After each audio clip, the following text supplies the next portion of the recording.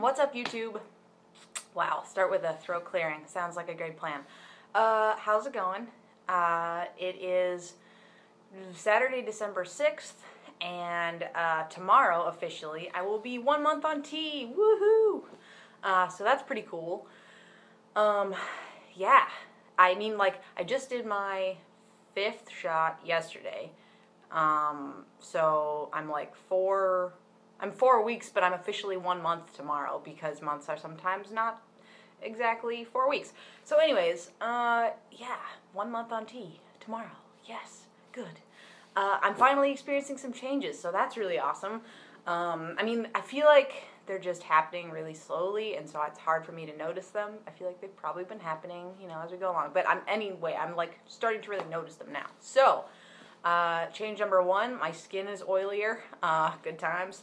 Um, but I really notice it on my face and on like my upper back and shoulders. So that just means, you know, that I have to shower a lot, and that's fine. Um, goes with the sort of like increase in smelliness that I talked about last time. So it's fine. I'm fine with it. Uh, I haven't got like bad acne or anything yet. My skin's still pretty, pretty chill. Um, I, you know, wash my face pretty much every morning and I've started to try and like start washing my face at night too, which is just, you know, it is. It's hard to like get into a new rhythm. Um, cuz I've already like brush my teeth at night, so I might as well just wash my face when I do that. Um, but anyway, so trying to do that to keep my skin good, happy. Um, I'm the other thing I'm excited about. I don't think I've talked about this before, but I'm excited for this is a weird thing, but I'm excited for my hairline to recede a little bit because I'm going to get my hair cut today, and uh, I really want to get like a shorter, more masculine haircut. But because my hairline is still very like rounded, um, if I get something cut really short, it looks just like a girl's pixie cut kind of. So I'm excited for that to change so that I can change up my hair a little bit. I might change it up today. We'll see when I go in. Um, so anyways, uh, the skin changes. Um, my libido is up, so that's exciting times for nobody.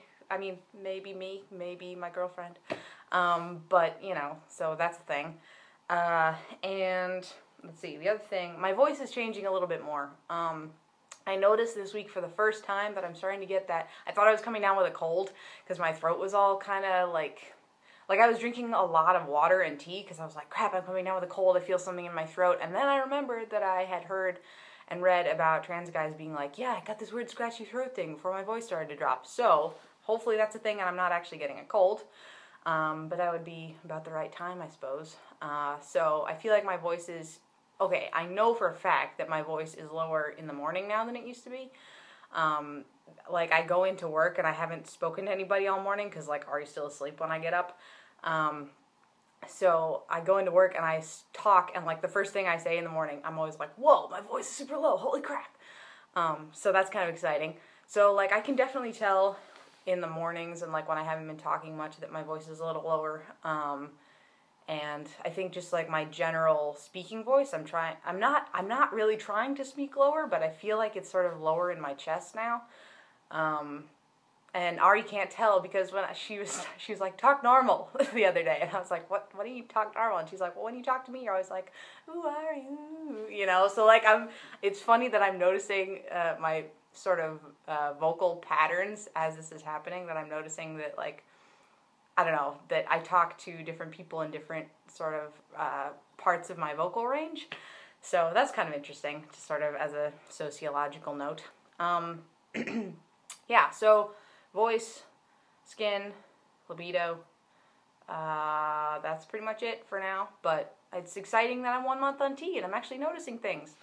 So, okay, uh, the one other thing I wanted to talk about in this video, besides things that are changing, is the experience of like finding and losing community because I had something awesome happen. Uh, I was at a work Christmas party and um, my friend Dan uh, we were just talking and he's in they decided to put together like a little choir at the christmas party uh, to sing some christmas carols and they've been rehearsing for a couple of days and dan was like why aren't you like this is my first time singing with a choir but you've sung with choirs before right and i was like yeah i did in like high school and whatever and and uh, he was like, "Why aren't you singing in the choir this year?" And I said, "Well, my voice is a little wonky. Like, I haven't talked to anybody at work about going on T or anything, so like, I didn't really want to go into it. But I was like, my voice is kind of wonky. Maybe I'll do it next year."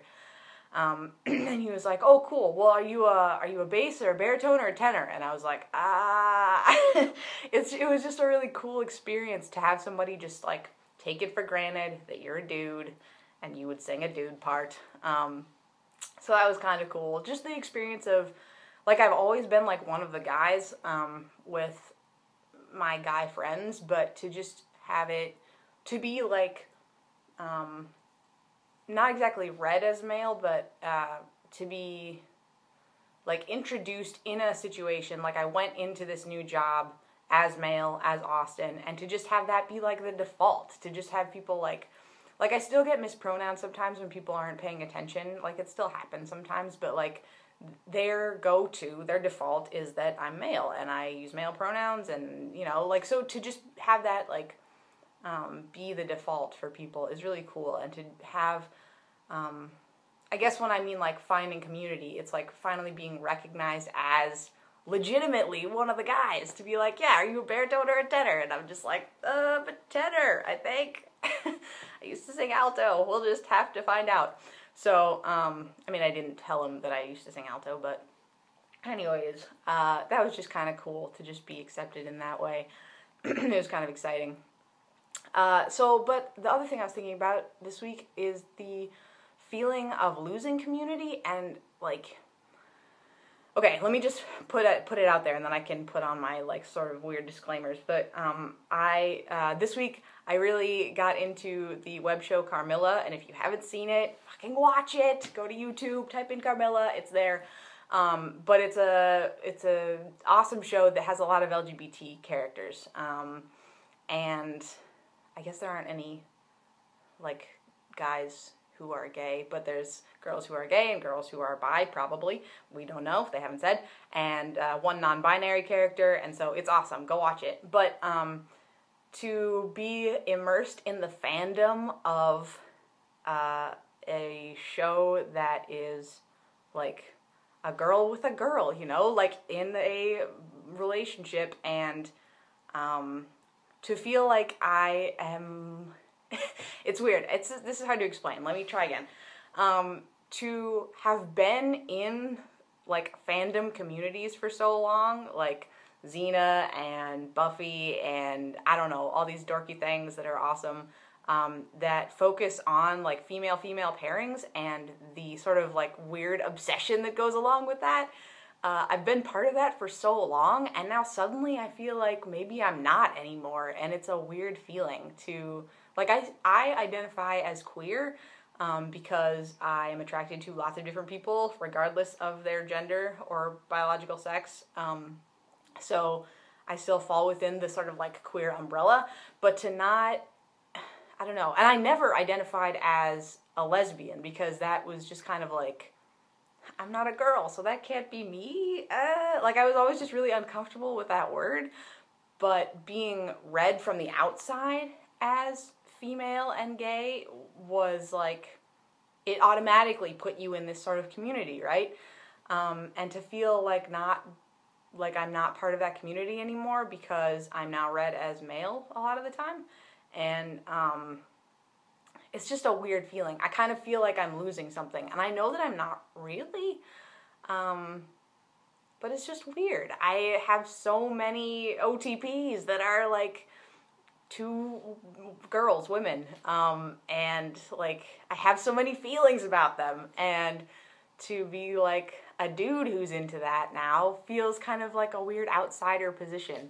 I don't know how to explain it really, but um, yeah. So being trans in fandom, yeah. Uh, anyway, go watch Carmilla. It's awesome.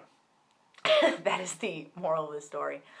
So um, yeah, I guess that's all for now.